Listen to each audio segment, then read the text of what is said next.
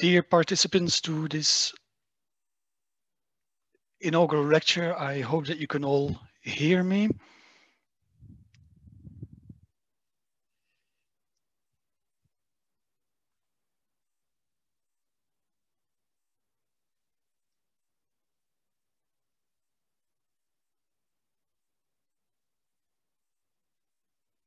Yes, thank you. I already received one uh, positive sign. The reason is that I cannot clearly see what is happening on uh, the screen.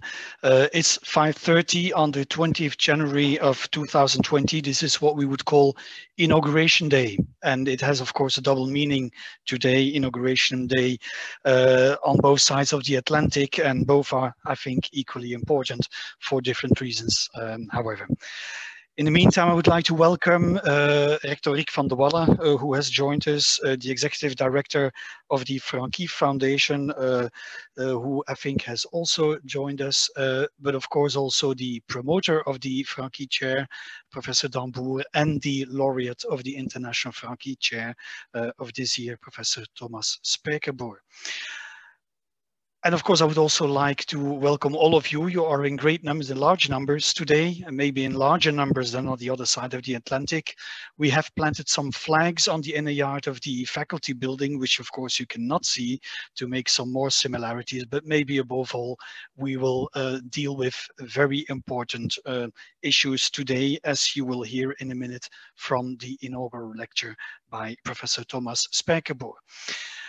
The International Francqui Chair is, of course, a privilege given to uh, uh, scholars of very high international reputation and is therefore uh, with pleasure that I uh, would like to welcome Professor Spijkerboer uh, to give his lecture. But before uh, turning to the introduction of Professor Spijkerboer by the colleague Proximus, Professor Marie-Bénédicte Dembour, I'm happy to give the floor to Professor, sorry, to the Executive Director of the Francqui Foundation, who unfortunately, of course, will not be able to uh, introduce physically the candidate, but who also is, if I'm correct, uh, um, and if everything works well, uh, present uh, online. Uh, Professor Van Moerbeke, I would like you to uh, try to switch on your camera and your microphone so as to give your introduction to the yes. um, ceremony of today.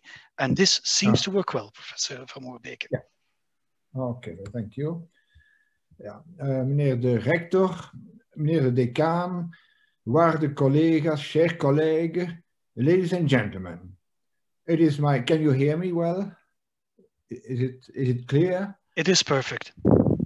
Okay, it is my pleasure and honor to welcome you all, distinguished guests, colleagues, students, friends at the occasion of the inaugural lecture of Professor Thomas Spijkerboer, who holds the International Francqui Chair for 20, 2021 at uh, the invitation of many institutions, eight institutions, we preside the University of Ghent as host institution, together with the University of Antwerp, the ULB, the VUB, the KU Leuven, UC Louvain, University of St. Louis, and University of Hasselt. I should also mention the Human Rights Center. I cannot resist spending a few words on the origin of the foundation Indeed, the, the birth of the Francqui Foundation in 1932 is a fortunate stroke of serendipity. It is a story of the right people at the right time at the right place. The seeds of the foundation go back to the late 1890s in China when Émile Francqui, the Belgian envoy, and Herbert Hoover, a mining engineer at the helm of an international mining corporation, were at the same table uh, bidding for contracts in coal mines and railways in Wuhan, China. A decade or so later, World War I broke out, which left the Belgian population in a state of anxiety and starvation. American President Woodrow Wilson, aware of the Belgian destruction, made an appeal to his fellow Americans to donate funds for Belgium's relief. He asked Herbert Hoover, stationed in London at the time, who himself contacted his old friend from China, Emile Francqui, to organize that relief, which actually was very was organized very efficiently. Once World War I came to an end, Emile Francqui fought a political battle to set the remaining funds aside with the purpose to boast academic life and scientific endeavor. He then was Herbert Hoover, President of the US from 1929 to 1933, who insisted on the name Francqui Foundation. It was then set up by royal decree of 1932 as a private institution of so-called public utility, the Stichting van Openbaar Nut, Fondation d'Utilité Publique, and with a clear purpose to further the development of higher education and scientific research in Belgium. Having become a substantial player on the Belgian academic scene, the foundation's activities revolve around several areas. The foundation awards the yearly Francqui Prize, which is the largest and most prestigious award given to a scientist active in Belgium under the age of 50. It is decided by a purely international jury and is presented every year by the King of Belgium. The Francqui Prizes alternate between medicine, exact sciences, and the humanities. Also, the foundation sponsors Francqui Chairs, where a scientist lectures for a week or so in a Belgian university. The Francqui research professorships give outstanding researchers the opportunity to focus on their research with a redu reduced teaching load and this for a three-year period. Presently, we have about a dozen such chairs in Belgium. And two years ago, we started awarding the Francqui startup grants aiming at attracting top talents in our universities. But let me return to, to today's theme. So that is namely the International Francqui Chairs. Those international chairs have been one of the core activities of the Francqui Foundation since its inception. The foundation has attracted top researchers to hold the International Francqui Chair in a wide range of disciplines. These chairs have been conceived to cover an extended and uninterrupted interrupted stay of a foreign scientist in Belgium. The international Francqui professor must be presented by at least two Belgian universities. He or she is expected to play an active role in the scientific life of the host universities through lectures, seminars and advice. And the chair has a distinguished history indeed. Incidentally, the first Francqui chair was in 1932 to Henry Henri Pirenne, a prominent historian at the University of Ghent. An international Francqui chair went to Peter Debye from Cornell University in 1933, and he received a Nobel Prize of Chemistry a few, a few, a few years later, and so on. In 2020, we are honored to welcome Thomas Spijkerboer professor of migration law at the VU, the Vrije Universiteit Amsterdam. He holds a master in law from Amsterdam. He became a practicing lawyer for a number of years and then obtained a doctorate of law from the Radboud University in Nijmegen. His doctoral dissertation on gender and refugee status earned him the 2001 Research Prize from the Praemium Erasmianum Foundation and was also published as an Ashgate monograph.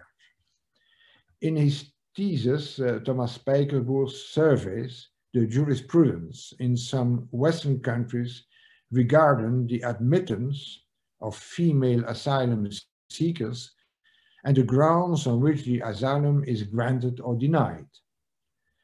From a careful investigation of the dossiers, he finds a definite pattern in the legal decision process. Since then, Thomas Spijkerboer has extensively written and lectured on international migration and refugee laws from many points of view, like gender, sexuality, border deaths, and from the colonial point of view, etc. He has become a world leading researcher in this area which is attested by his membership in the KNAW, the Royal Netherlands Academy of Arts and Sciences, and by his many keynote addresses at international conferences. He also holds the uh, Raoul Wallenberg Chair of Human Rights at Lund University in Sweden and has mentored and influenced numerous young people through master classes all over the world. Europe and the West have, been confronted more than ever with the burning issue of how to cope with migrations and refugees. It will be in, interesting to see how the new US president, who is being uh, inaugurated right this moment, will tackle this question. So therefore, we are definitely looking forward to Thomas Spijkerboer's lecture on the, the colonial structure of international migration laws.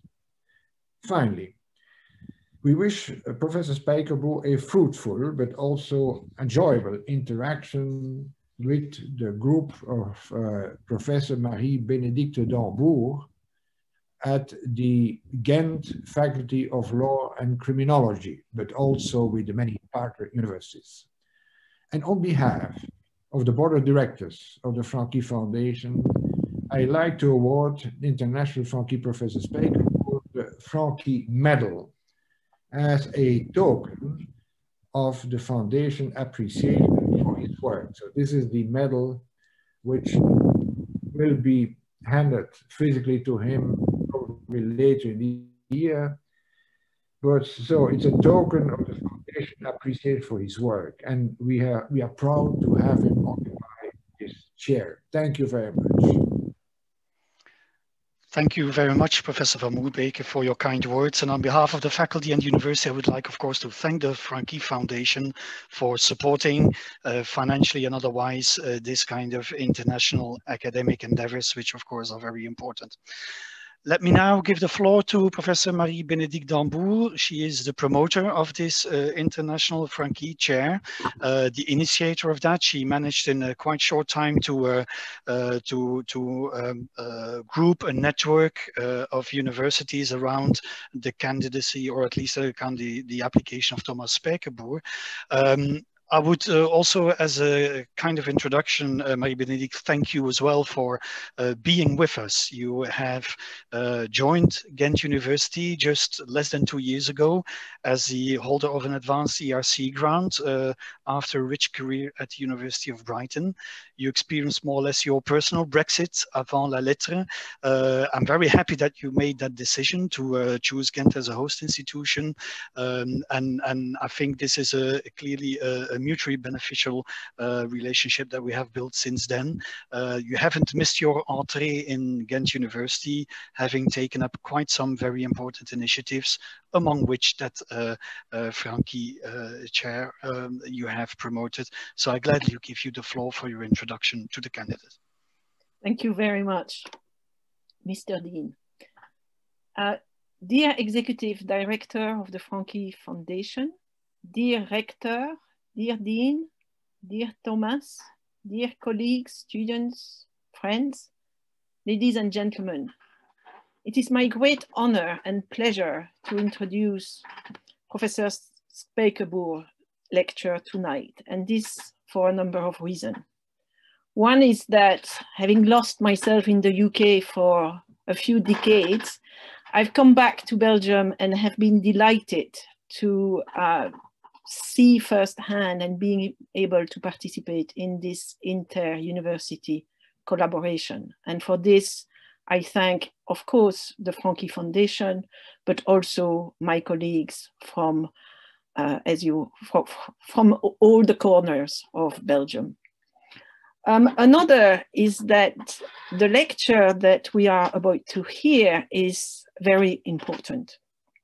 It's important and possibly it's also disturbing. But to me, it's also very fitting that it is being promoted through me from within the Human Rights Center. In short, the point that we will need to take and then to repeat to ourselves and to others over and over again is that we may wish that colonialism would be behind us, but it is not behind us. It's not because it continues to structure our lives in a very deep way.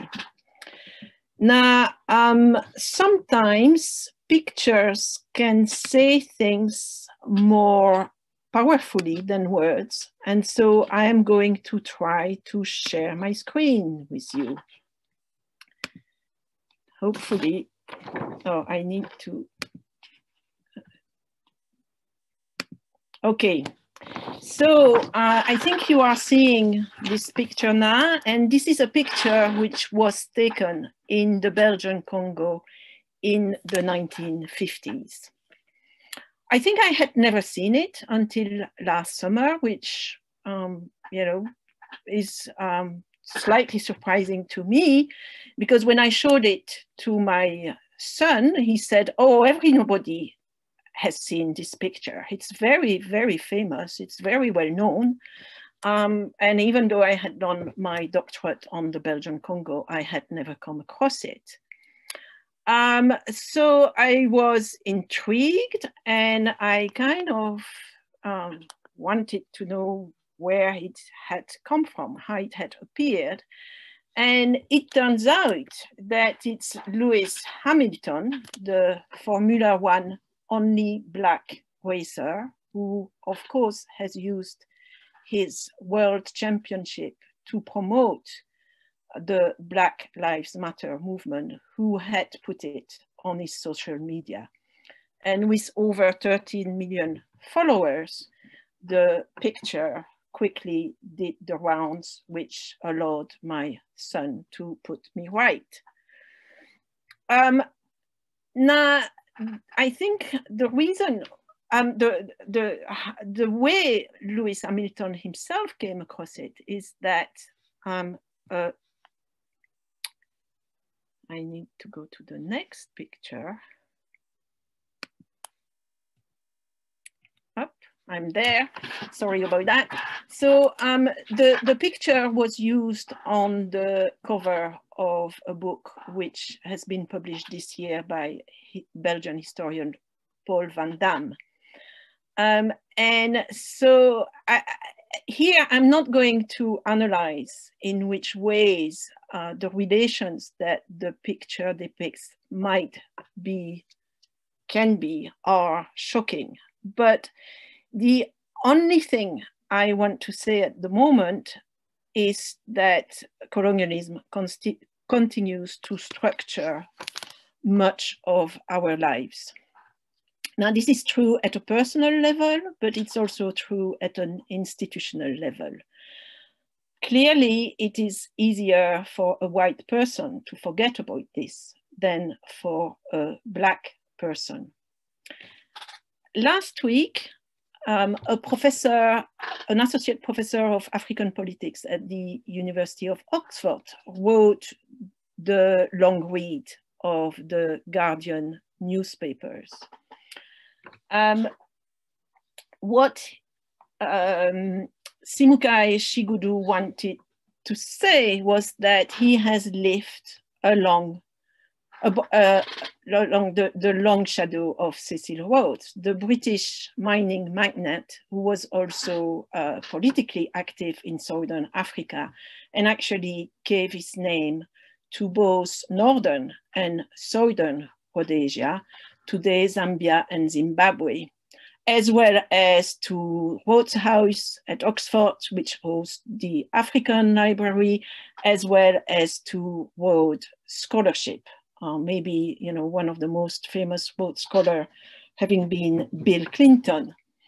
Now, what Simukai Chigudu says, and he says that extremely movingly and in, in great um, detail and sophistication is that Cecil Rhodes and everything that Rhodes embodied has shaped all the worlds through which he has moved.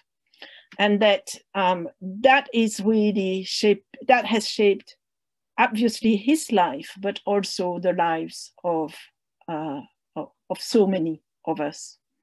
Now it's quite interesting that Emile Francqui, who unlike Rhodes had no country named after him, was nonetheless also uh, seemed to have been also a man of colonialism. The biography uh, that uh, we find on the Francqui Foundation website mentions that he was an officer in the Congo Free State of Leopold II and that he also managed, became the managing director of the mining union of Upper Katanga. And so I think maybe there is irony, but perhaps also logic in the fact that it is thanks to the Francqui Foundation that we are together tonight to learn about the colonial structure of international migration law. I hope we all agree that this is an important, if uncomfortable task, but um, I think, Thomas, that we are ready to listen to you. And so I pass the floor to you. Thank you. Thank you very much. Uh, meneer uh, ladies and gentlemen, I want to begin by showing you a map. And for that, I have to share my screen. Okay, this should be it. Um, is this okay? You can see the map? Good, thank you. Now, on this map, nationals of countries that are white need a visa for less than 100 countries, and nationals of countries that are gray on this map need entry visa for more than 100 countries. This map that was developed by Yusuf Al-Tamimi visualizes the global inequality of mobility. It visualizes, in other words, the effects of international migration law. Roughly speaking, people from Europe, from the Anglophone settler societies in North America, Australia, and New Zealand, as well as from South Korea and Japan, can move across the world with great ease, while Asians, Africans, and South, South Americans cannot. Although this blunt summary has to be qualified and actually has been uh, qualified, the general picture doesn't change as a consequence of those qualifications. So this map suggests that global mobility is unequal along lines of race and colonial history. But is that really the case?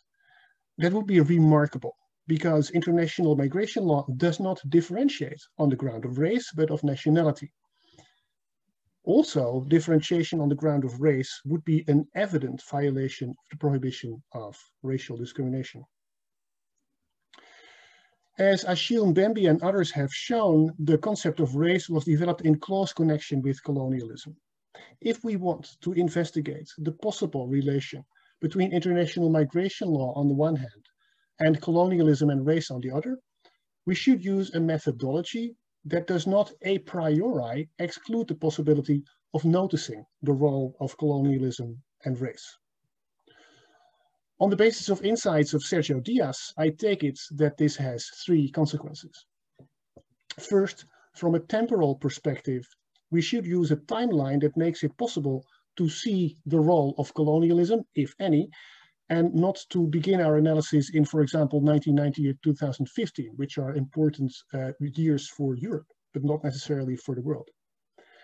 Second, structurally, we cannot automatically assume that with formal independence, the dependence of countries in the global south resulting from colonialism has ended. Thirdly, from an epistemic point of view, the analysis cannot be limited to the acts of former colonial powers and must fully include the acts of colonized and marginalized regions. This methodology does not necessarily lead to the finding that international migration law is col uh, colonial or racialized. Maybe it's not, but it's an effort to make it possible to see colonial and racial ph phenomena if and to the extent they, they are present. As a consequence, I will start with a historical overview of international migration law, a brief one. The earliest source that I'm aware of dates back to the early 16th century. Francisco de Vitoria was an early modern Spanish academic, and he was an advisor to Emperor Charles V. In a lesson he gave in 1532, De Indis, he touched upon the question whether the Spanish colonists had the right to seize the lands of Native Americans. He opens this discussion with the right to migrate. Vitoria poses that there is a right to travel and to live in other countries, provided one does not harm the natives.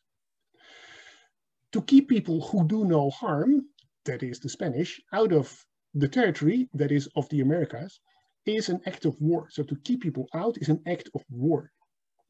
Vitoria argues that the Spanish colonists can defend themselves against such an act of war by the Native Americans by seizing their territory. So, for Vitoria, a refusal to allow the immigration of Spanish colonists may justify Spanish colonization. And whether or not foreigners harm, foreigners like the Spanish harm the interest of natives is to be decided by an objective standard, that is by learned persons such as Vitoria himself, and that's not the prerogative of the natives. Almost a century later, in 1609, Hugo de Groot, a member of the political elite of the Dutch Republic, published Mare Liberum, the Free Sea. The question de Groot addresses is whether the Portuguese have the right to deny the Dutch the use of the seas in the East Indies, in what is now Indonesia. De Groot asserts that it is an unimpeachable rule of the law of nations that every nation is free to travel to every other nation and to trade with it. This right to travel abroad logically includes the right to go ashore and to erect buildings there, provided this can be, can be done without bothering others. And if this right to trade, including the right to travel and reside, is refused, that is a legitimate ground for war. In 1625, de Groot developed a similar position in his magnum opus De Jure Belli ac Pacis. And this position was not theoretical, but justified Dutch colonization in the East Indies, which included the sort of acts of war that de Groot argued were legitimate. One of these was the extermination of most of the approximately 15,000 inhabitants of the island of Banda under the command of Jan Pieterszoon Coen in 1621. The VOC, the Dutch East India Company, then transferred slaves to Banda in order to restore the labor force. It should be noted that in contrast to Vitoria, de Groot uses terminology that emphasizes the temporary character of stay. This may be related to de Groot's vision of empire, which was not primarily oriented at territorial acquisition, but at mar maritime and mercantile supremacy. But nonetheless, the right to go to war if de Groot's right of free passage was violated, made permanent occupation of vanquished ter territories justified. And therefore de Groot reached a conclusion that is similar to that of Vitoria. Now, fast forward yet another century. In, 16, in, in 1758, the Swiss jurist Emer de Vattel published Le Droit des gens. While for Vitoria and de Groot, colonial expansion was the primary context of their work, Vattel focused primarily on international law in the relation between European states. And he develops the position of Vitoria and de Groot on migration. Instead of emphasizing the right to travel, he also argues that states have a right to exclude foreigners. But if they do so, this must be justified. Exclusion without justification is an abuse of this state right to exclude foreigners. A modification on the side of Vattel of the positions of Vitoria and de Groot is that Vattel says that, and this is a quote, by virtue of its natural li liberty, it is to the nation to judge whether it is or whether it is not in a position to receive this foreigner. This move uh, states are bound by international law, but states themselves interpret it, is characteristic for Vattel's approach to international law in general. The gradual abolition of slavery during the 19th century led to labor force problems in the European colonies and also in the new American territories in the far west. While the United Kingdom and the Netherlands introduced indentured labor, predominantly by people from the Indian subcontinent in their colonies, the United States, for lack of colonies, could not relocate colonial subjects and attracted Chinese and later Japanese laborers. This need to attract foreign labor can explain a treaty concluded in 1868 shortly after the abolition of slavery in the US, in which China and the US recognized, uh, and I quote, the inherent and inalienable right of man to change his home and allegiance, and also the mutual advantage of free migration and emigration of their citizens from one country to the other for purposes of curiosity, of trade, or as permanent residence. End of quote. This provision in the treaty is an articulation of the right to migrate, reflecting the spirit of Vitoria and de Groot, but this time to legitimize Chinese migration towards the American West Coast. However, this inalienable and inherent right of Chinese to migrate didn't last long. The success in attracting Chinese laborers to the American West Coast led to concerns about the dominance of white people, of the white majority. And this resulted in the first immigration laws aiming at restricting Chinese immigration. These so-called Chinese exclusion laws, that was their name, were challenged in court this resulted in a series of judgments of the US Supreme Court, the Chinese exclusion cases. The US Supreme Court held that the power of exclusion of foreigners is an incident of sovereignty, and therefore the government is free to consider, and I quote, the presence of foreigners of a different race in this country who will not assimilate with, to, with us to be dangerous to its peace and security, end of quote, and to exclude them on that ground. This was an abrupt change of legal doctrine. Migration was not the inalienable right of man. It had still been in 1532, in 1609, or even in 1868, but was declared not to be a right of man at all. Quite the opposite. The right was one of states as a function of their sovereignty to control migration at will. Immigration legislation modeled on the US exclusion legislation quickly spread. And the new legal doctrine it gave rise to, asserting an absolute power of states to control migration, was adopted across the Anglophone world, although usually without its explicit re reference to race. The state of the law is now, as the US Supreme Court stated in the 1972 standard case, that I quote, over no conceivable subject is the legislative power of Congress more complete than it is over the admission of aliens, end of quote. And as a consequence, judicial supervision is marginal. I now ask you to fast forward one more time to 1985.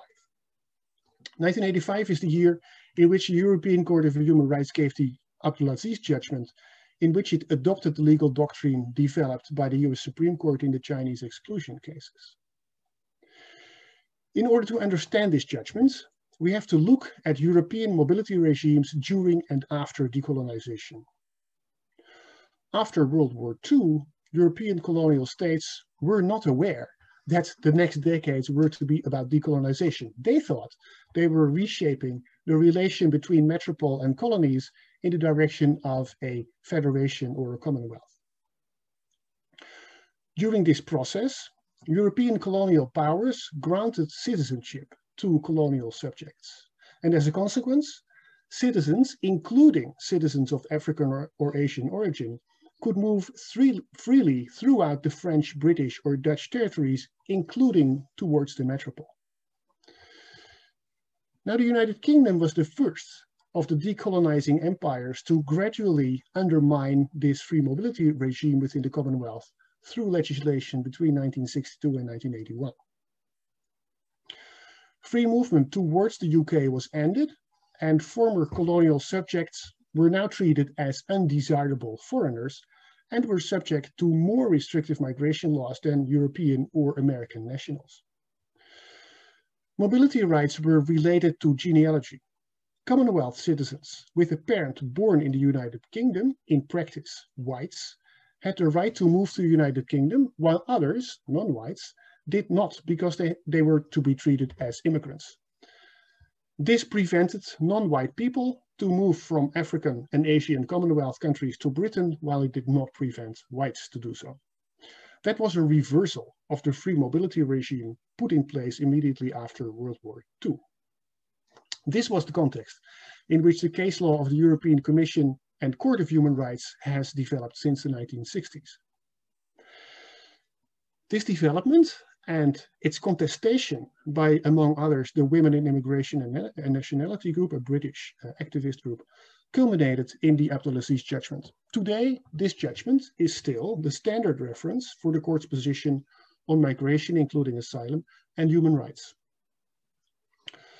The court rules that as a matter of well-established international law and subject to its treaty obligations, a state has the right to control the entry of non-nationals into its territory.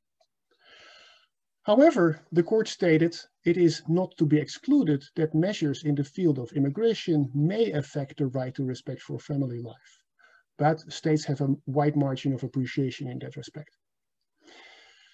The court followed the US Supreme Court, including that the exclusion of foreigners does not need justification. Quite the opposite.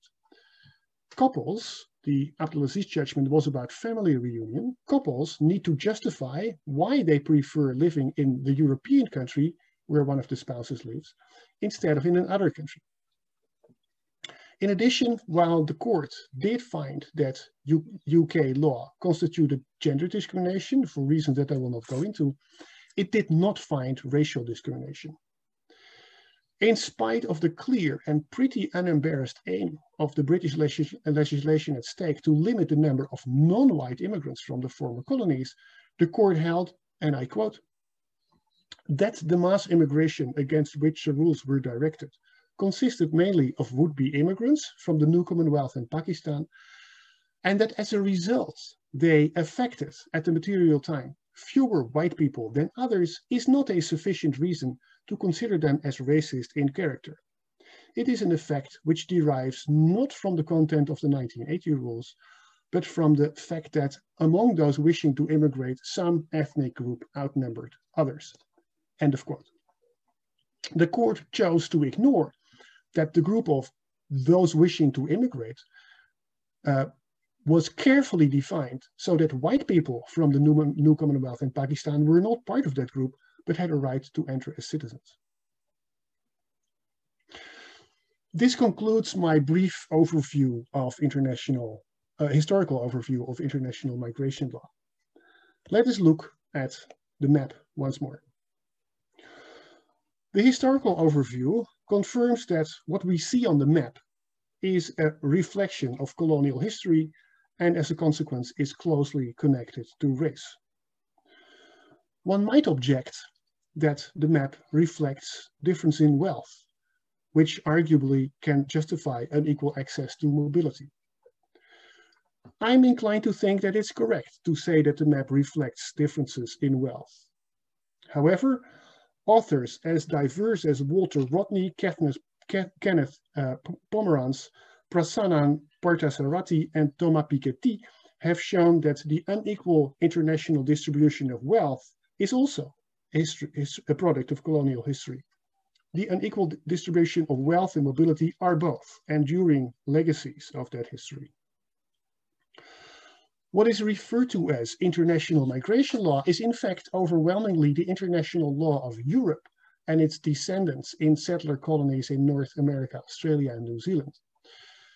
This European international migration law has developed as part of the processes of colonization and racialization. It has resulted, and it continues to result today, in a right of Europeans and their descendants to travel across the world while, while people from South America, Africa, and Asia do not have that right.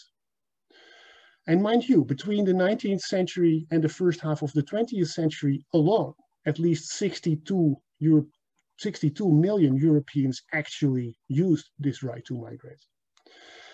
This was not only free migration. Many Europeans were forced to populate the colonies by the state or by poverty, by their class position. At the other end of the spectrum, there is the unfree migration of racialized and enslaved people, both in the transatlantic slave trade and in the East Indies. An estimated 12.5 million people were moved forcibly in the uh, transatlantic slave trade. An observation of Ann Stoler and Frederick Cooper is particularly relevant here, namely that Europe itself was made by its imperial projects as much as the colonized regions, regions were shaped by Europe. We can only understand the history of international migration law as well as its present if we see it if we see its intimate relation with colonialism and race. Daniel Thym concludes that international migration law is based on a fundamental normative assumption of sedentarism, while Bas Schotel and Marie-Bénédicte Dembour have used the more argumentative terms exclusion without justification and Strasbourg reversal. Their analyses are not historical, but restate today's state of affairs. It will come as no surprise that this sedentarist approach which dominates legal doctrine in the global north, is shared by states and regional organizations in the global north, such as the European Union. However, academic work also takes this global north approach to constitute international migration law. In textbooks, the global north approach is considered as inherent in the very notion of state sovereignty. In doing so, academic work ignores the colonial origins of international migration law and it naturalizes its racialized character. I will now turn to the second part of my talk, which addresses non-European perspectives in international migration law. Regional case law in Africa and the Americas does not necessarily accept this global north legal doctrine legal actors there do not find it obvious that the unequal legal mobility regi regime sits easily with international law. A first example of a different approach can be found in the Inter-American Court of Human Rights. This court has ruled that equality and non-discrimination are peremptory norms of international law, also known as jus cogens. This means that equality and non-discrimination are norms from which no derogation is permitted. The Inter-American Court lists migration status, that is, having or not having a residence right, as a prohibited discrimination ground. Now, this does not mean that states cannot make any distinction between nationals and non-nationals or between documented and undocumented migrants. In other words, states can make migration laws, but exclusion requires justification, unlike in the European system. The Inter-American Court requires that such distinctions are reasonable, objective, proportionate, that they are not discriminatory and do not harm human rights. Diego, Diego, Acosta has shown that this is not an isolated phenomenon limited to the Inter-American Human Rights Court in San Jose, but is an expression of a wider development in South America.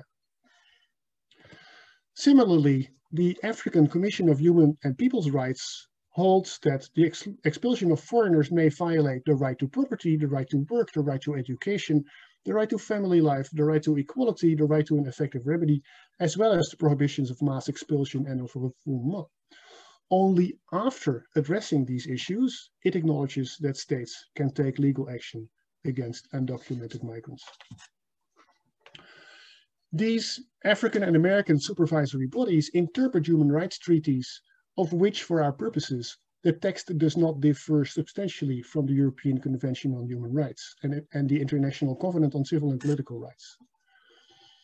These African and American supervisory bodies have an equal claim to formulate international law as the European Court of Human Rights does.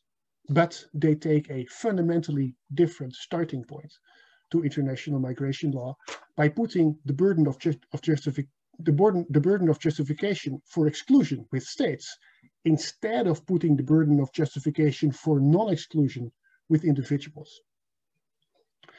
They apply human rights law as it is applied in all, in all other fields of law also by states, courts, and doctrines of the global north. They apply it in the normal way.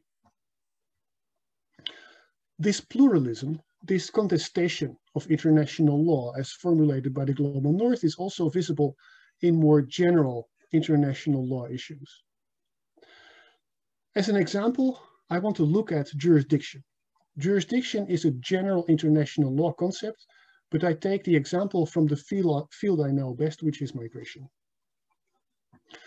States in the global north, the European Union, the United States, Canada, Australia, they try to combat migration by preventing people from reaching their territory, by keeping them far away from their borders.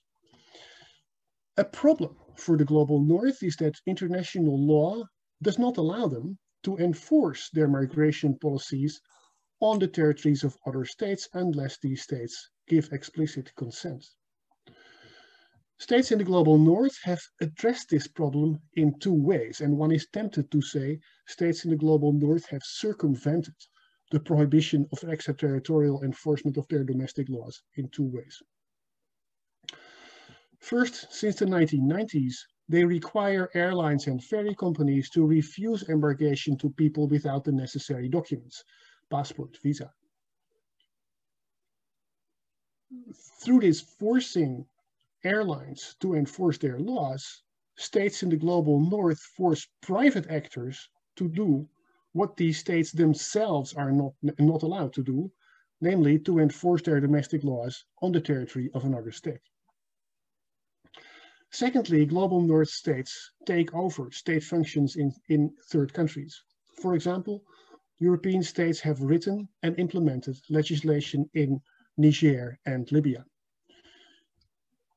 In this way, they quite possibly violate human rights norms, but formally these violations will have been committed by third states. Another country in which uh, such instrumentalization of states in the global south uh, has happened is the Australian policy to offshore its asylum system to Nauru and Papua New Guinea. Such offshoring implies, amongst others, detention in Papua New Guinea of asylum seekers who asked for asylum in Australia. And this is detention for unlimited duration under, let's put it clinically, under substandard conditions. A case about the legality of this Australian offshore detention reached the Papua New Guinea Supreme Court of, Judge, of Justice. In a judgment, judgment from 2016, the PNG, the Papua New Guinea Supreme Court, ruled that this detention was unconstitutional because it had no basic, no basis in domestic law. And the court ordered the Papua New Guinea government to end detention. However, the court ordered the PNG government as well as Australia to take the necessary steps to end the detention. In doing so, it went against the international law principle of state immunity. This principle holds that states cannot be sued in the courts of other states unless they have explicitly agreed to that. A criminal or civil law case against Australia can in principle only take place before Australian courts. Nonetheless, the PNG Supreme Court gives an order against Australia. Regrettably, the court does not explicitly explain why it finds it appropriate to do so despite the principle of state immunity. However, if we read the judgment carefully, it is evident why the court did this. It points out that as part of Australian asylum policy, asylum seekers were transferred to the PNG by Australian Federal Police and were placed in a detention center of which the construction and the day-to-day -day operation were funded by Australia. And when it appeared that this was contrary to PNG domestic law, Australia provided technical assistance to try to remedy this. They sent a few lawyers. As the court puts it, the PNG government had, I quote, decided in favor of accommodating Australia's wish in exchange for certain monetary and other considerations. End of quote. On these grounds, the PNG Supreme Court of Justice concluded that the Australian government assisted the PNG government with the illegal transfer and, and detention of asylum seekers, and as a consequence, the Australian government is to be held responsible for it. This bold and abrupt move of the PNG Supreme Court of Justice can be understood as a response to the hands-off case law of the Australian judiciary, which has accepted the offshoring scheme by limiting the scope and intensity of its own judicial scrutiny. As we have seen in the historical part of this talk, such judicial abdication, the term is uh, of Linda Bosniak, such judicial abdication is typical of international migration law since the Chinese exclusion cases. The Australian judiciary has chosen not to engage in meaningful human rights and constitutional scrutiny of Australia's offshore asylum policy. Application of the principle of state immunity by the PNG Supreme Court would have allowed Australia to export this judicial abdication that characterizes so-called international migration law to Papua New Guinea. Because of this, one can characterize the PNG Supreme Court's decision to ignore the principle of state immunity as a contestation of international migration law. Obviously, the PNG Supreme Court of Justice does not have the power to end the Australian policy of offshoring its asylum policy to its global south neighbors. But what it, what it can do, it does. By not accepting that Australia can rely on the doctrine of state immunity so as to impose the sedentarist vision of international migration law on the sovereign state of, sovereign state of Papua New Guinea. I do not have time to linger on other situations, but the problem is far from unique.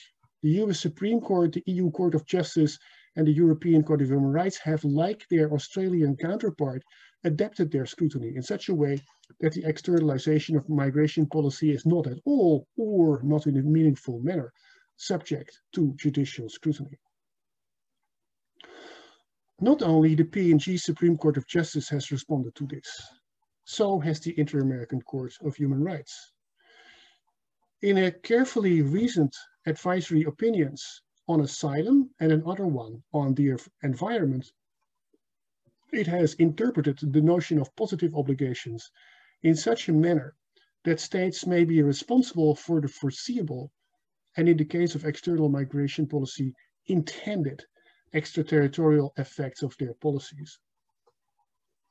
Such reasoning remains well within acceptable interpretation methods of international law, but at the same time may prevent the legal vacuum that the courts of the global north create with so much care and so much craftsmanship, so as to allow, to allow their states to do abroad what they cannot do at home. I will now turn off the slideshow. Yeah. Um, not all courts in the global south are inclined to take such an approach, of course. By way of example, human rights activists in Libya litigated against the Memorandum of Understanding, a kind of informal treaty between Italy and Libya in, of 2017. And this Memorandum of Understanding, MOU, is instrumental in Europe's offshore policy. They succeeded to get the MOU suspended in first instance by the appeals court in Tripoli, but the Libyan Supreme Court used a construction, construction similar to one used by the EU Court of Justice in the humanitarian visa case to declare itself not competent to hear the case. So it stepped back. Courts states, regional organizations, and academics in the global south may and at times do express support for the sedentarist approach to international migration law. Just think of the mass expulsions which led to the case law of the African Commission on Human and People's Rights. And reversely, there is critique within, within the global north. An example could be the Hirsi Jamaa versus Italy judgment of the European Court of Human Rights, which did limit state sovereignty. Location does not determine legal doctrine, but at the same time, it is not to be ignored that, for example, many states officials, judges, and academics in Africa have different normative responses to the visa map I showed a few minutes ago than their colleagues in Europe. If one stops to sideline the positions from the global south, the normative pluralism, the normative disagreement, the contestation is hard to ignore. The different interpretations of international human rights law from courts in the global south is overwhelmingly ignored in the global north. For example, in its recent case law, the European Court of Human Rights has not referred to the 2018 advisory opinion on asylum of the Inter-American Court of Human Rights, despite its obvious relevance. In academic work too, legal doctrine from the global south, case law, legislation, academic writing, is most often simply not registered at all. And to, this, to the extent it is noted, it is seen as being of purely local relevance. Anthony Anghie has called this the dynamic of difference. This tendency to equate the global north with the universal, the abstract, and the general, and the global south with the specific, the concrete, and the local is, and I'm afraid I cannot think of a friendlier term, is colonial. My intention is not to criticize particular authors or journals.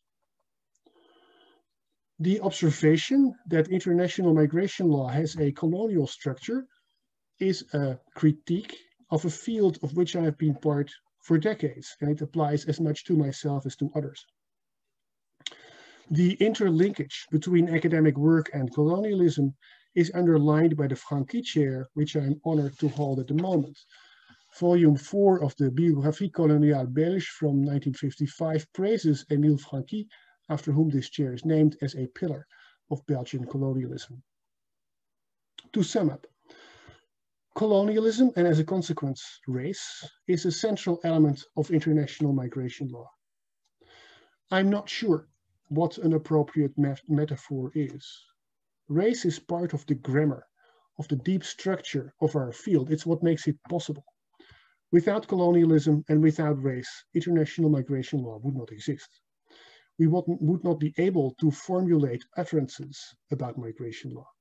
And this is as much the case today as it was in 1532. And like in 1532, this is contested, in particular by legal actors on the receiving end of the resulting inequality. This is not to say that race is the only part of this grammar, of this deep structure. I have hinted at the close relation between colonialism and class by referring to the crucial role of labor. And this needs further reflection in the footsteps of materialist social scientists like Saskia Sassen and Nicholas De Genova. Another crucial element of the field is gender. Reproduction of the population and racial mixture have been themes in international migration law from the very beginning. Vitoria worries about it. In her work on family and the nation, Sarah van Walsum has analyzed the ongoing influence of colonial gender dynamics in contemporary family, family reunion, asylum, and labor migration law.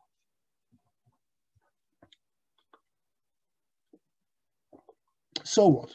Now what? Shall we conclude that all this is very unjust? To be honest, I think it's very hard to think anything else.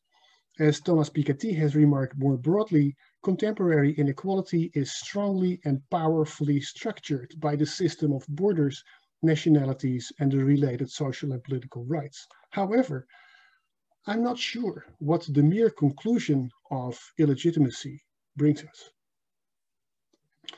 Colleagues with similar concerns to mine have proposed the notion of border justice. But that seems problematic because as we have seen, the injustice of borders is not marginal. How can the borders between global north and global south be just without much more comprehensive forms of justice? And then alternatively, doesn't all this suggest an ideal of no borders or open borders? There's a similar problem to that. Without comprehensive forms of global justice, open borders may lead to undercutting social standards in social democracies that is why the idea of open borders is so dear to the editors of The Economist and the, and the Wall Street Journal. As someone from a Northern European social democracy identifying with that egalitarian tradition, maybe I do not have the distance needed to think beyond this dilemma. I do find the suggestion of Tendayi Achiume very inspiring, where she acknowledges the right of, of a community to control access, but then redefines the community that has this right as a transnational community with post-colonial ties bringing together former colonies and metropoles. However, policies of the global north are currently expanding and reinforcing the exclusion of Asians, Africans, and Latinos without justification. They do so not merely by making entry requirements more stringent, but also by intensifying externalization. Also, as Chimni has observed, the global compacts on migration and refugees can be seen as efforts of the global north to make countries in the global south as well as international organizations and civil society, speak its language and to adopt the Chinese exclusion legal doctrine. In other words, the compacts can be seen as hegemonic projects. And on the basis of the analysis I propose, it makes sense to object to such hegemonic projects because they're based on ignoring and sidelining perspectives from the global south. But also, I want to emphasize that my critique is first and foremost most methodological. If international law claims to be international, it cannot, in the words of Achille Mbembe, make generalizations from idioms of provincialism. Make generalizations from idioms of provincialism. It is, of course, true that in this manner, it becomes clear that legal methodology is inseparable from politics. But because the focus of my critique is methodological, so is my response. And that response is that, in plain and simple words, as researchers and educators in the global north, we need to begin taking sources from the, from the global south seriously. Legislation, case law, state practice, and academic writings from the global south have to be conceptualized as sources of international law and not as activistic exoticisms. This also means that the history of international migration law should include, for example, the Ottoman, Mughal, Arab, and Chinese legacies. For unwritten legal traditions, innovative research methods may have to be developed, such as, such as those suggested by Judge Weeramantry in the Hungary versus Slovakia judgment, or in the Oath of Manden, a 13th century human rights catalog from the Mali Empire. In addition, the colonial structure of international migration law makes it necessary to include the legal regulation of slavery and the slave trade into our field. This is partly for historical reasons. The slave trade was large-scale, economically induced forced migration, but also the history, the legal history of slavery would allow for understanding indentured labor in its continuity with slavery. In today's Europe and elsewhere, work in the meat processing, sex work, agriculture, and domestic work share many characteristics with classical indentured labor. This critique not only affects the substance of our work, but also our daily practice. At our workplaces, we will need to engage in conversations that may be painful and unsettling. And how could it be different when we begin to confront this, to, when we begin to confront the sediment that a long and violent history has left in the institutions that we embody in our day-to-day -day work. Some concrete ideas for this daily practice. Now we have figured how to do our teaching online, we may wonder how we can develop truly global curricula. This would require reconsidering their Eurocentric content, which is a good idea anyway, and it would require close cooperation with colleagues in the Global South among others, so as not to undermine their position. Also, those of, those of us who play a role in publishing as editors or reviewers can reconsider our policies and practices so as to figure out how they, and how therefore actually how we, can be so exclusive and so excluding. As fundraisers and funders, we should make every effort to get more funding for independent academic research in our field for colleagues in the Global South. When organizing conferences, we can, we can ask ourselves whether it is really necessary to have them in places which are inaccessible to our colleagues from the Global South, both because of, both because of the costs and because they are likely to be refused visa. And while, by all means, we keep complaining about how terrible it is that due to COVID, we are unable to get on planes every so often so as to meet each other, we might consider that online events allow for the participation of colleagues from places we may have never heard of and who may change, enrich, and disturb our discussions in a way we cannot currently imagine. I'm aware that I suggest to engage in piecemeal change, while the problem is fundamental and structural. And there's something unsatisfactory about that, because these small responses seem to be of a different scale than the problem.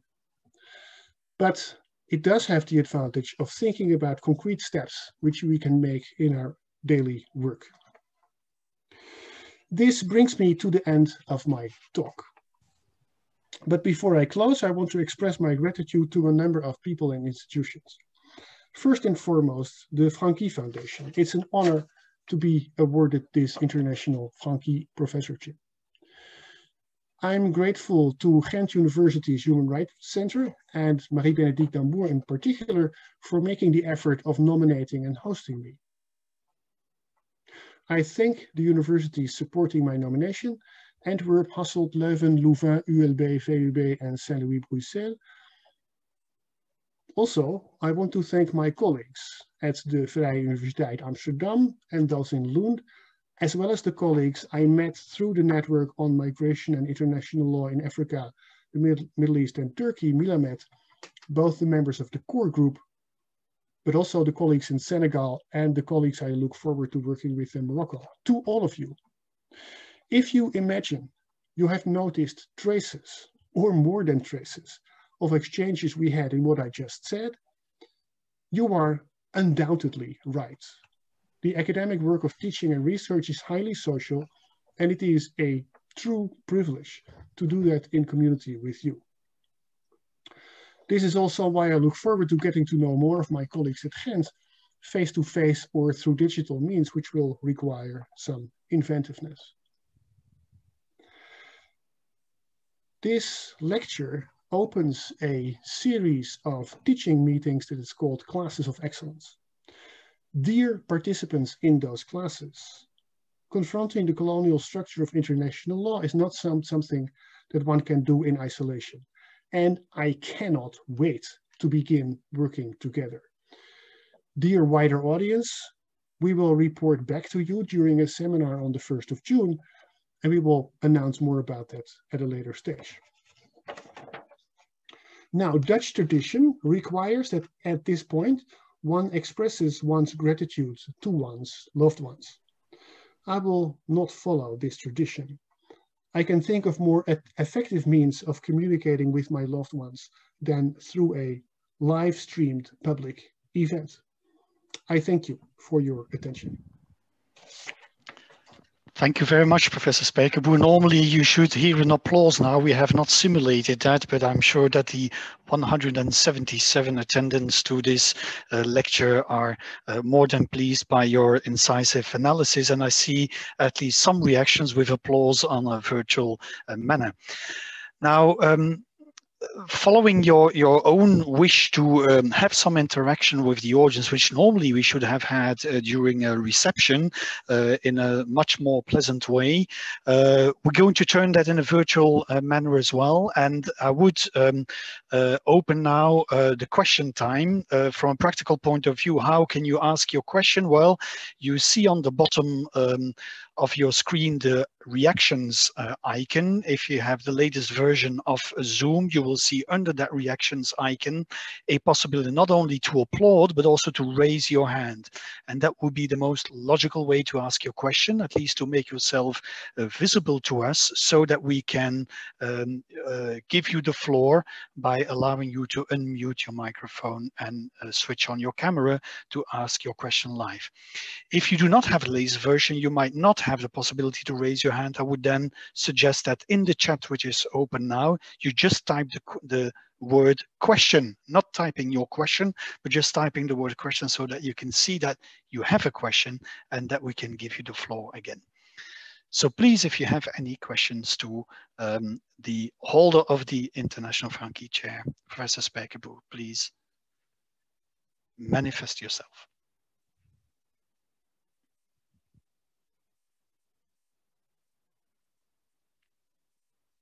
Yes, I do have a first from Tesseltje de Lange, I will um, make sure that you can switch on your camera and your microphone. Yes.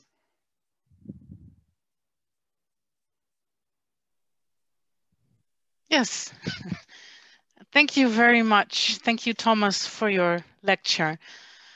Um, I will go straight to it. Just briefly for all of you, I'm a professor of European migration law uh, at Radboud University Nijmegen. Um, uh, Thomas, and uh, I know Thomas for a long time, so I'll just say Thomas. You frame your talk um, based on former colonialism. Um, I would really like to hear your thoughts of more modern um, and not necessarily north towards south um, examples of new colonialism, um, where, for instance, I have to think of um, uh, the Chinese purchase of harbors um, across the globe, uh, also in Europe, but but at well a wider range um, of countries. And how would you frame that and possible their way of of, of framing their right to do so? Um, would that fit in in what you're working on, um, or is that yet another agenda?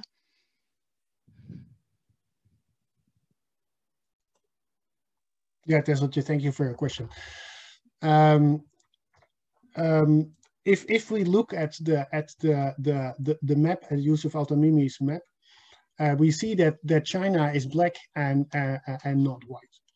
So China is not um, a country that that enjoys this this this this Cadillac mobility status. However, of course, it's a dichotomy, and China is quite for a black country, it, it's doing quite well. And there are white countries that are doing a bit poorly in comparison to others. I think Germany is, you want to have a German passport. And the Dutch is also quite okay. Uh, but the Brazilian, so Brazil was white on the map.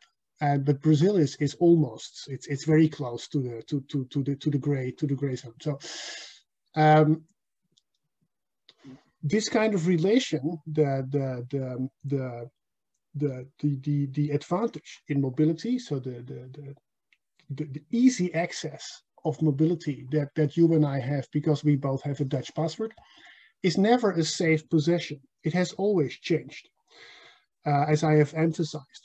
Um, uh, under the 1868 Burlingame Treaty between the US and China, Chinese indentured laborers suddenly had an in, in, inalienable right to move. I mean, they had it for 15 years or so, but still, that, that's not so good for an inalienable right, but still it, it was called an inalienable right at one moment. Well, it's never it's never static and it's always moving. I think that what you see now is that uh, China, which was never colonized, but did have to undergo the opium wars and basically had to live under diktats from from from from uh, uh, the United Kingdom uh, and and and the US to some extent um, that they are getting getting on steam. They're they're they're uh, so they are they are coming up, and in I think in Africa they now have quite good mobility rights. Uh, they they can easily t- Europeans also need to get a visa for many African countries. I once applied for one in in Benin. It was an easy online form, and I got the visa within literally seconds after I had wired the 50 uh, uh, US dollars that you had to, to send in. So th that's a visa obligation, but it's it's a formality. So I think Chinese are doing quite well. Now you see them coming up and, and, and others are, are going down. So I have I one of the problems with with the with the story as I presented it is that for brevity's sake I had to to ignore all the nuances and this has developed. You, you do see that in, in the, in the immediate post-war era where colonial subjects suddenly get free movement because uh, colonial powers are scrambling to legitimize their their their their empires. Uh, so it's it's um, it, it fits the story, but of course we, we don't know yet where it's going.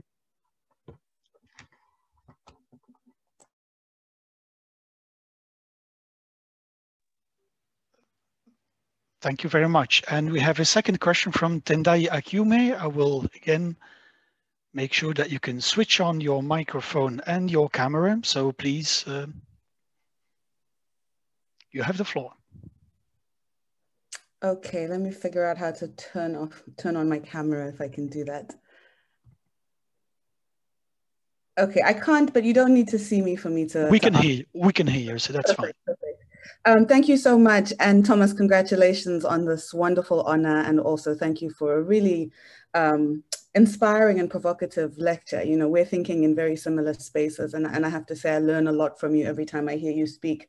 So my question is, is one that I think um, I, I, would like you to kind of think at, at, the deepest level about some of the, the insights that you've shared with us. And I'm trying to understand whether you see your intervention as an emancipatory one or as a diagnostic one. Um, and I think both kinds of interventions are really valuable, but they tell us different things. And the intervention I'm thinking about specifically is this push to, to not just international lawyers, but I think international lawyers, especially or international legal scholars of migration, to brand international migration law as colonial law appropriately, and to think about other sources outside of the global north that are producing international law that pushes back against the kind of dominant colonial approach that we don't call um, what it actually is it seems to me, and, and many others have said this, that international law is the law of empire. And I think if international law is the law of empire, you might think about the international law of migration or even just the control of migration as the means of empire.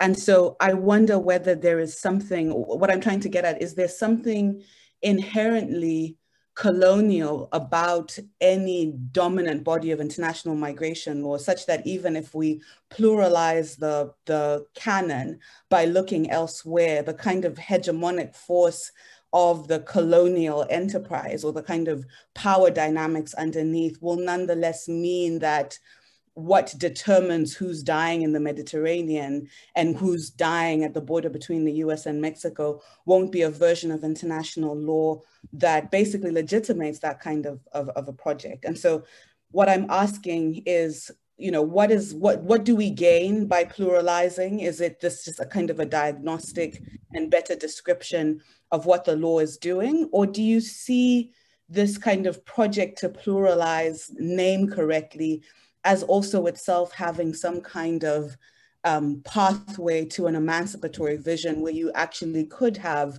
transnational relations that govern migration in some kind of legal regime that is just and doesn't reproduce kind of these unequal relations that we see as distinctive of, of colonialism. You have a tendency, thank you. You have a tendency to ask these extremely difficult questions. Thank you. Um, I have I have I have uh, uh, responses at at uh, at uh, two levels. The first is um, listen. I'm a European liberal, uh, and um, and I'm I'm I'm not liberal by conviction, but I'm I'm a European academic, um, and um, when I when I when I uh, make this kind of analysis, I'm like at the end of the 19th century, you had these very enlightened um, uh, employers who built good housing for their workers. Uh, in the Netherlands, one of the one of the people in that category, Mr. Quack, he was a, one of the first professors of, of public of, of, economics. He wrote a six-volume uh, book about Marxism, about Marxist thinkers which when it was reissued in 1977, uh, Arthur Lehning, a leading anarchist, said was still one of the best works on Marx. So he took it so seriously that he really, I'm that kind of person. I'm a, a, a, um, um, I'm well intentioned, but I, I can I have problems in jumping over the limits of, of my position. So that that's uh, that that's one of one of my one of my responses. Um, and so I, I, I, tend to replicate the, the problem of yes, but open borders will lead to undercutting social standards. Trade unions fought hard for them. How can we? I have, I have problems in thinking beyond those those limitations. Um, and um, one of the, actually one of the very few uh, uh, attempts to go beyond that is your own work, where you uh, acknowledge that, um, yes, inherently communities have can only exist as communities when they have some control over who is in the community. But then why do we suddenly deny um, uh, uh, that people from different parts of the world have an actual intimate link because as a result of colonialism, and the Netherlands is a very good example of that because of, of Suriname and the Dutch Antilles, where um, uh, the, these populations are completely mixed. Uh, the, uh, something similar for the for the for the for the populations of of the Netherlands and the, the former Dutch East Indies, the Indonesia, has only been disentangled by a kind of population exchange like transfer of many, many, many people. So colonial ties, your, your proposal to consider countries like the Netherlands and Suriname as one community that jointly decides about who it will admit from, let's say, other uh, uh, uh, uh communities, I find that that's one of the very few examples I, I'm aware of of thinking outside this this nation state uh, uh, uh, um, uh, discourse that can only think about open borders or uh, just borders. So, uh, so I'm, I think it's mainly diagnostic what I do because I'm I'm too much involved and too much stuck uh, as a European academic in the system as it is. It, it, I find that a very poor response.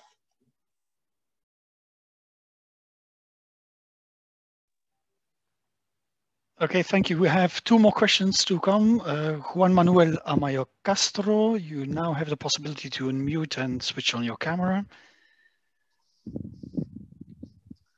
Um, greetings from Bogota, Colombia. Um, I'm very happy uh, to be uh, present here with you all. Um, I also know Tom, Thomas from a long time. Uh, he actually got me uh, into uh, migration law, um, and I want to press him a bit, a bit on the on the previous uh, exchange, um, because basically, Thomas, the way I understand your um, your intervention it, it, it, has an element of anti-formalist.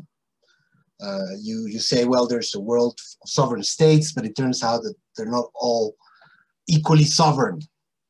Um, uh, but then you, your proposal at the end is actually a very formalist proposal.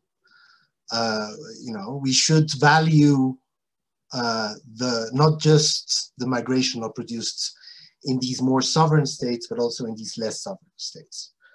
Um, and in that sense, you you reproduce the uh, not just not just the the the the formalist framework that you um, crit critique, you know, but you hope to, in that sense, I think you are both diagnostic and emancipatory in your uh, in your ambition because you want to make it uh, a better formalism not just an, uh, uh, a different than formalism. Um, but you're also, in that sense, uh, falling a bit into the shortcomings of formalism. Um, and in particular, I'm thinking of uh, methodological nationalism, uh, a topic that we have discussed in the past. Um, and I would want to ask you a question. So what do we not see when we focus on the colonial relation? Even though the focus on the colonial relation unearths all of these um, interesting observations that you uh, identify, uh, what do we not see? And I would like to propose perhaps a focus on class. It's one of the things that we don't see. Uh, you made brief references to it, um, but uh, I think you should be making more than brief references to it. Uh, class shows an incredible incredibly broad sub-national dimension to the migration phenomenon. Um, and class also allows you to see migration law from a global perspective, not just from this methodologically nationalist perspective. It allows you, for example, to focus on global care chains. Um, class, after all, is also very much a part of migration law in all of these countries. So we have the map that you showed, uh, but the, what, one of the things that the map doesn't show is that somebody with a university degree or a millionaire from any one of these dark countries uh, actually has much easier access, uh, sometimes even uh, uh, more easier access than uh, a person from a white country that does not have these particular class position. Um, and so I would like to invite you to focus more on class. Hey, Juan, can I say that I really love Zoom? Great to see you. Um, um, um, uh, sure, uh, granted, um, uh, give me another 50, 50 uh, 45 minutes and, and, and uh, let's, let's discuss class. Um, the kind of move that I make, I think is more, I think my critique is not anti-formalist, it's formalist. Um, what, what, one of the things that has struck me in the past few years is that, and I will give one example, in West Africa, there is a number of, it's partly related to, to, to generation, there's a number of academics, of legal academics, who um, say things or write things that I find fascinating. Um, they describe migration as, as something perfectly natural um, partly they have uh, a historical discourse about it, about how Africa has worked always. Partly they point out that the borders in Africa are colonial borders and they're in the wrong place and they're not African. Yes, they're African borders, but they they they they they don't reflect uh, uh, uh, uh developments that were the product of uh, of, of African realities. They were imposed they were compromises between European powers. And so they, they essentially say these borders, of course we cross them all the time. That, that's normal. And that's, that's um, so when we developed free, free movement in West Africa in, in, in the framework of ECOWAS with all its, its shortcomings, the idea was to return to the, to the normal situation as it was before colonialism what I find fascinating about that is that that's missed, completely missed. It's erased in, in international law because free movement in ECOWAS is seen either as copy-paste from the EU, which it's not. It, it has its own uh, history. It's based in, it, it, it's a compromise between Pan-Africanism and, and African nationalism. It's, it's something much more interesting than copy-paste from the EU. Um, so it's partly a compromise that's very contemporary and, and is related to decolonization, and partly it's perceived by these authors as um, the normal state of affairs. Of course, we, we cross borders. In Europe, free movement is seen as, and it's described in the Schuman Declaration from, from 1950 as one of the ways to overcome a very long and painful and lethal history of European nationalism. These are two different forms of free movement. Now, what I, what I, the, the, argument I try to make is that this African perspective, and I'm, I'm, I'm homogenizing it now and, and with all due apologies, there is a different discourse out there it's not just an oppor opportunistic discourse, or at least it's not more opp opportunistic than the European one, and it's international law, and it cannot be discarded as ah, it's these funny Africans. They haven't. It, it's international law, and it's as much international law as what the Strasbourg Court does. So that's that's the the the, the let's say that that's within the limits of um, uh, of the discourse of international law as, as I, that I can work with, uh, I think what you can do, can, can do. Uh, so it's, it's, it's this, this, this uh, pushing these different perspectives that, I, that I'm after. And um, I'm, I'm unsure about the, the, let's say, the transformative character of it because it stays well within existing uh, methodology. But so I, again, maybe I'm simply the wrong person to. Um, I mean, the revolution didn't start with liberal employers. Social democracy didn't start with liberal employers, but it was nice that there were some who were not um, in the way. Maybe I think I have I've uh, a low um, uh, expectations of people in my position. Okay, thank you. A further question from Nicole Stibnarova. Uh, hello, everyone. Hello, Thomas. Um, we, uh, we, we've been um, previously in touch via email, um, but never had the honor to meet in person. So maybe let's consider this our first occasion. Um, thank you for the lecture and um, congratulations to the position. Um, my question is brief and perhaps uh, brief, but maybe too broad. But I wonder, after all these years of researching about um, migration law and engaging with different schools of critiques, um, what do you think sovereignty is? And um, I mean sovereignty as, it, as it's used in, uh, let's say, current European um, case law and um, policy preparatory works, laws, uh, etc., in, in, the lingua of, of um, governments. Do you think it's just a metaphor for what's politically important? Or do you think it at times has some real value in itself? And by that I mean, does it at times stand for some vital interest or self-preservation of the state or society? Um, of course, being aware of uh, all that's been said about sovereignty as a concept by historical critical scholars um, such as um, Anghie, as you mentioned, or Chimni or Koskenniemi. Um, I wonder, what is your personal uh, take on sovereignty?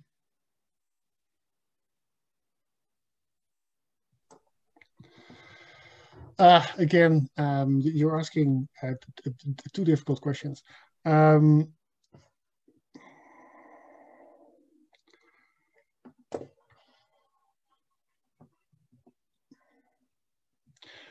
let let me let me let me give a a uh, maybe maybe that's not what you intend to ask but when i when i look at at at the the in in in the state of niger which i think is if by one measure is the poorest country on earth and it's not a very powerful country and there, partly therefore it was discovered by european policymakers because it seemed an easy walkover it seemed an easy country to intervene in because they would be willing they would be um, uh, uh, they would be open to uh, proposals, just like the Papua New Guinea government was open to proposals of Australia.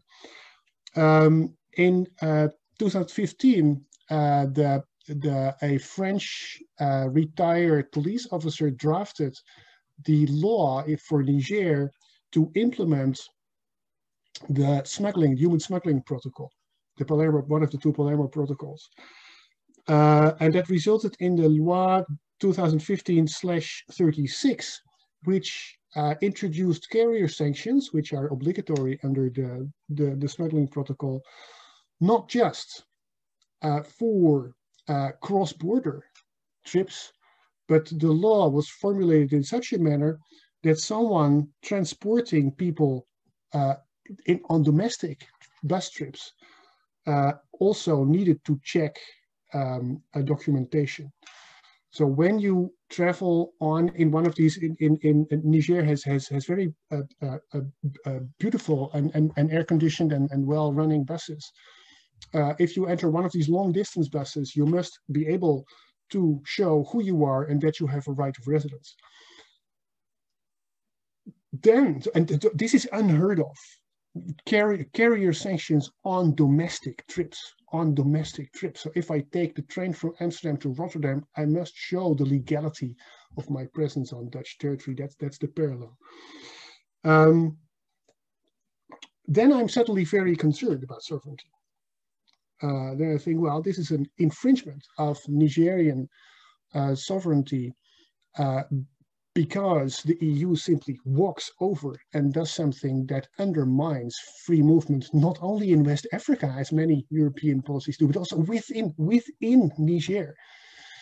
Um, so that is, uh, then I think sovereignty uh, doesn't mean much because um, Nigerian state sovereignty doesn't uh, doesn't amount to much in those contexts. Um, however, um, so, so Nigerian authors, uh, Abdullahi Hamadou, uh, uh, has has said this is an infringement of Nigerian sovereignty. there I see the point. So I think I, that that sovereignty means different things to different not not people but to different states and there, so I'm, I, I, take, I completely take on board uh, Tony Anghie's uh, uh, analysis. and I'm, I'm not, um, I'll, I'll leave it at this, this, let's say, tiny example, which I think is a tiny example of, of something, something uh, uh, pretty big, and we see it every day in, in, in migration law. Okay, thank you. I see that we have some people still um, on the list to have questions, uh, but we are getting a little bit beyond our time. So what I would propose is to take the four questions that we have. And luckily for me, the last question will come from Tamara last, so that fits and that closes the circle. But first we have uh, Tanjirul Islam, which I will now provide the possibility to switch on the camera.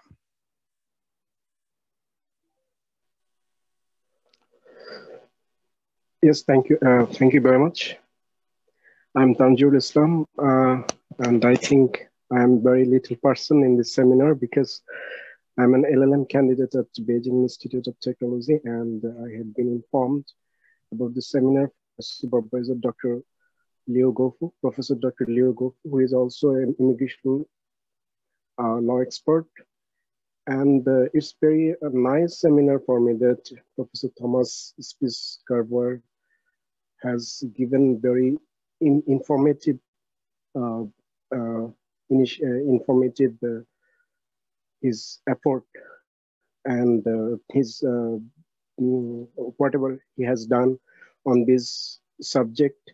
I think it is very fruitful, but my question that is that I, we know that colonialism in this era I think it actually actually doesn't exist in this time on recent, but before it it has very uh, uh, significance uh, in uh, in the world politics and also in migration law. So my question is that actually uh, how much impact uh, colonial structure has in immigration, international immigration law in this era Uh, basically in recent time. What do you think, Professor, about it? Thank you. Thank you very much.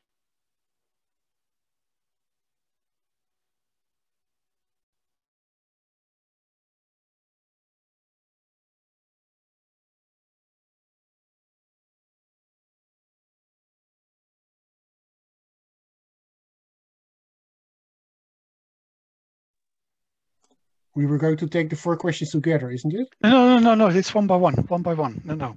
Oh, one, one by one. One okay. by one. No, no. Sorry, my, my apologies. Okay, okay. Um, well, I, uh, I'll try to keep it short because indeed we're, we're running, running running late. Apologies for that. Um, I do think that that's the the the map I showed. So the the the the the, the inequality uh, of mobility rights uh, between roughly the global north and the global south, as, as blunt as that analysis is, uh, shows uh, uh, uh that that the the the, the, colonial past is still very much a present, and it's also the, the the the the case law of the European Court of Human Rights, which is, let's say, the yeah the most most well developed and um, uh, um, most prestigious case law on this point, it's it's it is about this this colonial point. It is an, a response to uh, litigation against the the British uh, late imperial uh, regulation of mobility.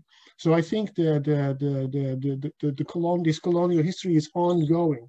Uh, white people can move where they want, and non-white people uh, much less so. That's, that's a very blunt way of, of putting it, but that general uh, structure, I think, is, is something that is, that is ongoing.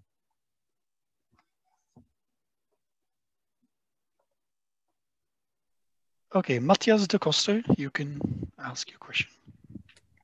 Hi, um, so thank you for your lecture and the thing that you said about COVID being an opportunity for people to join in and to participate in a lot of things um, now is so true. But what it also does is that it allows for simple PhD students like myself to ask really great questions to really, really great people and important people like you. So I would like to take advantage of, of this moment to to build off what Tendayi Achiume was saying, but also on what Nicole was saying, on sort of thinking um, and go further, because you were saying that international immigration law is inherently a product of colonialism and sort of a legacy of it, and that it continues or that it perpetuates colonialism nowadays. So then, but if we think of international law as the empire's law and international law still being the empire, then and also on sovereignty, then you can sort of see that the fact that people have to or communities have to organize themselves in the form of a state is in itself and inherently a colonial construct, right? Because in order to participate in international law, and international law has as its subject states. So if people do, and, and they're actually forced to participate in the international arena because of globalism, then that is in itself the fact statehood or, or the notion of a state and the fact that you have to organize yourself in the form of a state is inherently um, already a perpetuation of colonialism. And now you, you talked about um, open borders as sort of being a, well, as, as a possibility or a way to think out or through um, international immigration law being a product of colonialism. But then if you take that other premise series as international law being empire's law, um, then you have to go further. Do, do we still need states? And is, and I, I don't mean that this is the emancipation. I'm just, and I don't think because you've you've told us that you don't know, but like, what simply what do you think of of that idea that statehood statehood as being a product of colonialism that then allows for immigration law? Um, do we need to go beyond the states? Do we need to abolish states? How what's possible in in in the future? Uh, thank you. Uh, again, as someone invested in the social democratic, uh, I'm, I'm, i sympathize with the social democratic project, and so I, I'm not not easy to let go on the state because I'm not sure what we will get in its place. However, if if I again may point out that um, as as little as I know about it, um, I think in, in West Africa, the state means something different. And it's not necessarily uh, a very peaceful or nice thing, but it is inspiring to think about uh, populations that do not identify with a state, but with a with a with a zone that may cross board may, may cross one or two borders. Um, one of the things that, that was pointed out to me by, by a Senegalese uh, legal academic is that uh, for these populations, many of them uh, uh, travel with their, with their cattle, that the, the, the free movement status of the cattle is quite well regulated. But the free movement status of these people is, is far less so because they tend not to have a nationality because they, they're mobile and therefore have not been registered as uh, state people. So there you see the clash between people who actually live um, um, yeah, across state borders and for whom the state is not uh, uh a major, uh, um, is not, not, not the primary form of organization. Um, so you, you, you, see, you see people uh, doing that the funny, the, the, the, one of the interesting things is that the, EU in its uh, border projects that it supports in West Africa is trying to make these borders and to make them more meaning, meaningful and to, to constitute borders and also to make them meaningful to people. So I think states are not the only form of, of, of social organization. They're the only form of organization that is, there's the strongest form of social organization in international law, but there are these other forms. And maybe we should let ourselves be inspired by the regulation of, uh, of the status of cattle in, in, in ECOWAS and see how they how they how they how they how they how they do it and how they how they conceive of it. So um, I'm, I'm sure you don't find this a satisfactory answer. I don't find it satisfactory myself, but thinking beyond the state, I think, is is is very problematic. On the other hand, we shouldn't fetishize the state. There are people who, who actually uh, uh, don't don't don't don't um, you know actually live their life regardless of states, but it leads to some problems for them.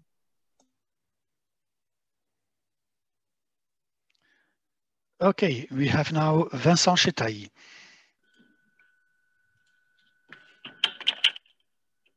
Thank you very much. This is uh, uh, a pleasure. And uh, I mean, it was, uh, thank you very much, uh, Thomas. It was a very interesting, inspiring, and needed call to revisit international migration. Obviously, as uh, mentioned rightly, uh, Tendayi Achiume, this is not specific to this particular field, but this is a question for international law as a whole. and this is probably more uh, obvious for other branches such as trade law, investment laws, uh, the colonial uh, uh structure uh, of these. But of course, this is plainly relevant too for international migration law. I have two questions, in fact, uh, and I, I, will elaborate briefly about each of them. My first question, because is migration control uh, more about racial discrimination than colonialization because, and of course the two notions are related, but still different.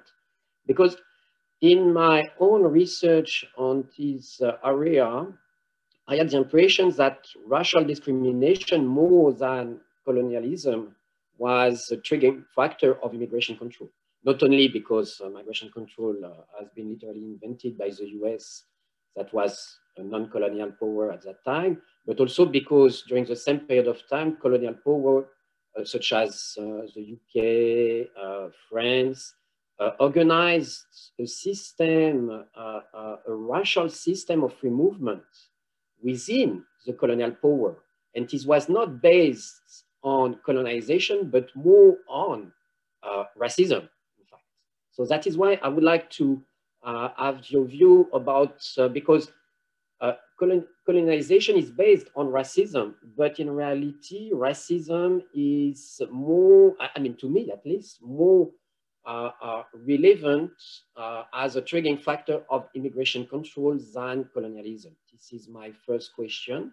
And the second question, I would like to go a little bit beyond the, the your own uh, assessment of the divide between academics from global north and global south to, to, to, to have your view about the, the colonial structure of international migration law, but as a product of state practice. Uh, because I, am not totally comfortable with, it, with the idea of opposing academics from the global north and the global south for uh, at least two uh, obvious reasons. First of all, the fact that an, uh, one scholar describes a state of law does not mean that he is fine with uh, such a state uh, of law. And, and also the second reason is that, and I was also personally surprised, but in reality, uh, uh, most international lawyers from the global south have endorsed in their own writing a very, a quite, not absolute, absolutist, but a very strong version of state sovereignty in the field of migration. Uh, there are many big names, uh, uh, Maurice Kamto, Be Mohamed Bedjaoui, but also less known scholars. I was I, I, was surprised when I was involved in the drafting process of the free movement protocol of the African Union that uh, uh, uh, all my colleagues in the room from the African continent where uh, uh, uh, uh, they, it was uh, uh, difficult to reconcile the notion of state sovereignty and free movement, and they, they, they were tempted to consider first state sovereignty, whereas we were discussing about the drafting of a free movement protocol. So clearly, that is why I think that opposing uh, global north and global south academics sounds to me too too simple to be to be true. And that is why i mean going further uh, because after all uh, what matters is not the, the, limited circles of academics uh, uh, uh, what is important in your deconstruction exercise is to i mean to me is to to see uh, uh, uh, also the colonial structure of uh, international migration law uh, uh, as a product of state practice. Because here, and I would, I would be interesting to know more besides the, your, your assessment of academics and your case law, the, the state practice as reproducing the colonial uh, structure of international law uh, in general. So two, two questions.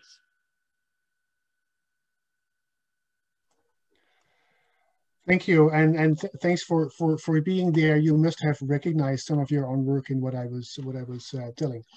Um, I've I've I've, um, I've, I've used it uh, very eagerly.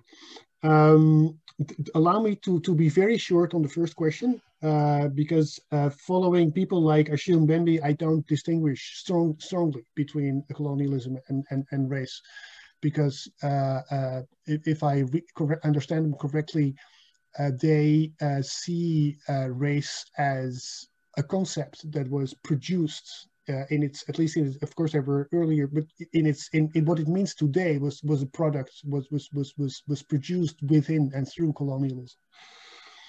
Uh, so I, I don't strongly uh, I don't sharply distinguish them. For the global north global south dichotomy i think that's a constantly moving thing. It, it's not, uh, of course, it's not, uh, uh, one should not be determinist about this. Um, there are, I think, clear differences in, in perspective and there are clear differences in position. Um, academics in the global uh, south, many academics in the global south, um, um, I mean, they are so and so incredibly under-resourced that they don't have the possibilities we in Europe or in North America have for for uh, uh, uh, for doing research and therefore for having a voice in uh, the international discussion, except where they write commissioned research for the UN and the EU. And these organizations are dominated and by by the global north, by the Chinese exclusion version of international migration law. Um, so that that gives uh, uh, that limits the space for uh, academics from the global south to to have a say. Um, and uh, and also you you see in in in in if, if you if you once you once you see it you notice that academics from the global south with very few exceptions uh, and one of them is is Chimni um, they when they write an article, they they uh, they uh, either they do it themselves or they're made to do so by by editors. They um, uh, uh they they they emphasize the specificity of the text. So it's it's obvious. The, the case of Indonesia, while an article in the International Journal of Refugee Law about the most recent case law of the British Court of Appeal in LGBT cases does not do so. It, it, the title doesn't indicate it's British. Uh, the whole theory, uh, the whole writing is as if this is of global importance. So there, there is this, this, this, this, this, this, this difficult structure. Um, and I think it also, it plays a role in, in, in reviewing. Would a, uh, um, uh, an academic from the Democratic Republic of Congo be asked to review uh, an article uh, that has been submitted, and that is about the British Court of Appeal case law on LGBT cases. I think that would be a good idea. Uh, the person is not an expert in it, but the person could indicate whether this is truly of global importance uh, or whether it's more appropriate for a local, uh, for a national journal. So there, there is there is this this this this this strong divide, but on many many levels. Uh, but there's, a strong difference in in in in in, in position and in in yeah in, in power in the field uh, between uh, different academics. And i think that is something that that we actively participate in. And we need to reflect on and we can we are free to reflect on that. We can do it. We can think of our own editorial practices uh, in this and and and there's space for us to do that. State sovereignty is so the idea that global south academics are not so uh, for state sovereignty well of course that depends because state sovereignty is as tony Anghie so brilliantly uh, uh, has analyzed in his book is a bit of a moving target. And um, uh, maybe in the global north it's very uh, cool to be post-sovereign. In the global south states may want there may may need theirs and, and academics may sympathize with that. They may identify with that. Uh, to to they, they may like to to to insist on the sovereignty of their state to protect themselves against interventions from the United States or the EU. So on state sovereignty, there, I think I, I, if I gave the impression that, that there is a global South academic party line on that, no, not at all. It's it's a, a very very um, mobile uh, uh, um, notion. I'll keep it at that. Okay, thank you. And now we have the last question from Tamara. Last, I will make sure that you can unmute yourself for the question.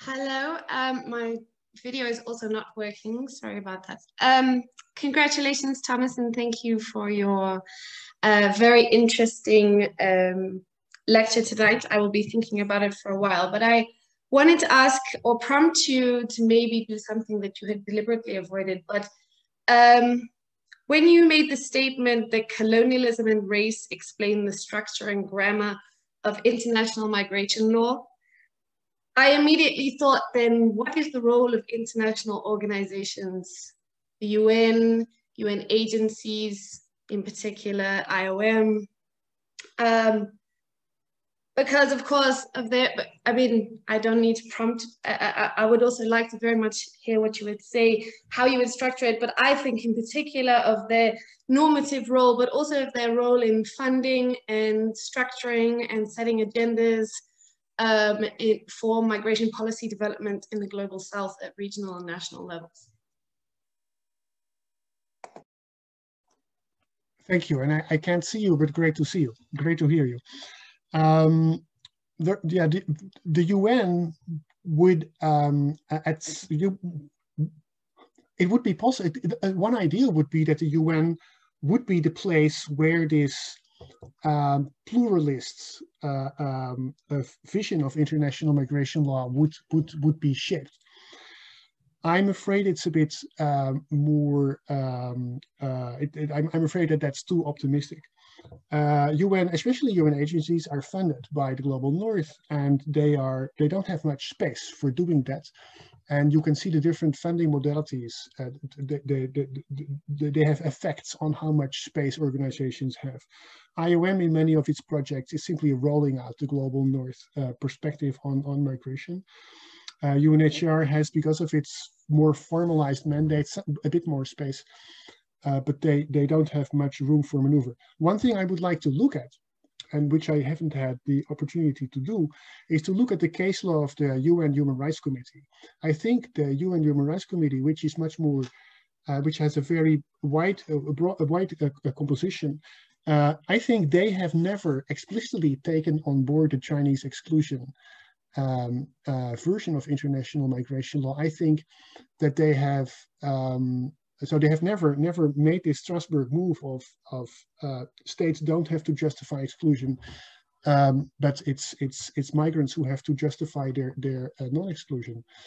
Um, so they, they never made that move. I think they have reached similar results by um, making their judicial scrutiny less intense. So there, it's a different um, uh, uh, strategy to kind of pacify the, the, the global north position without the global south giving up on a more um, um, mobility oriented uh, uh, perspective. So I, that's something I really would like to look at and uh, maybe that's it's it's to yeah so I, I think the, the agencies are very much they have their, their hands are tied to a to to a, to a great extent um, and for, for the Human Rights Committee, uh, I think there you see how important it is that Global South actors are at the table. They also can't work wonders, uh, but they, they, I think we, we need to analyze the, the, the international, the, the UN level uh, uh, for that reason. Thank you very much, Professor Spijkerboer. I think you have gone half an hour beyond the scheduled time, but I think it was worth it. I would like to thank you probably on behalf of all the uh, participants for your very inspiring lecture. I think uh, I heard the word several times. Uh, thanking as well again um, uh, Professor Van Moerbeke from the Francqui Foundation to having present uh, tonight, and of course for the support he gives for uh, the opportunity which is given to you, Thomas, to um, to intensify research collaboration with different Belgian Belgian universities. Um, and to all of you, um, well, probably most of you will be uh, safe at home. I would like to wish you a safe journey back to the living room or to the kitchen.